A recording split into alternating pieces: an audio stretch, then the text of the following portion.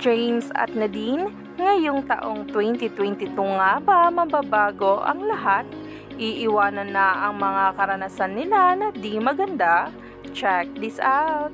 Talaga nga namang hindi maitatanggi na ang taong 2021 ay marami din ngang pagsubok kay Nadine at James na talaga nga namang pinotektahan sila at pinagtanggol ng mga supporters nito na umaani na nga ng maraming reaksyon ang bawat hakbang na ginagawa.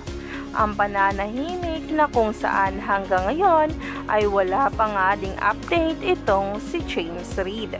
Marami nga ang nagsasabi na ito'y nakaalis na nga ng bansa patungong Los Angeles, USA.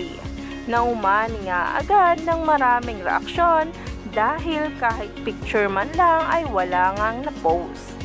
Pero hoping for the best pa rin niya ang maraming netizens at Jaden fans.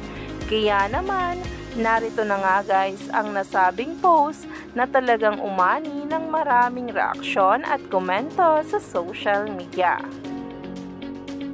Na ang pag-goodbye 2021 nilang magkasama ay iisa lang araw ang ibig sabihin na ang taong 2022 ay magiging maganda nga sa kanila at iiwanan na nga sa nakaraang taon ang mga karanasan na talagang ayaw na balikan ng marami. Na sa kabila nga talaga ng mga laraw ang mga paayudang binibigay ay patuloy pa rin nga ang pambabash sa kanila na talaga nga namang nariyan pa rin hanggang ngayon ang maraming taga-suporta nito. Ang larawang ito ay nagbibigay nga din ligaya at mga team panatag pa rin sa realist couple. Dahil iba talaga raw ang sigaw ng mga mukha nito at puso na kung saan nga ay kitang-kita kung gaano nga nag-blooming kapag magkasama ang dalawa. Ibang level nga raw talaga ang kilig kapag nga si James at Nadine ay magkasama.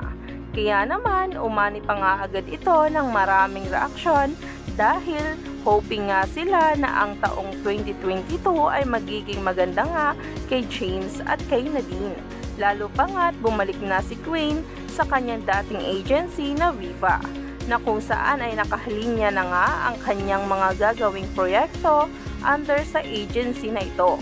At talaga nga namang ang comeback nilang dalawa ay pinag-uusapan na rin siguro upang nga muling pakiligin ang mga Jadines. Kaya naman, stay tuned lang tayo for more updates tungkol sa Jadine.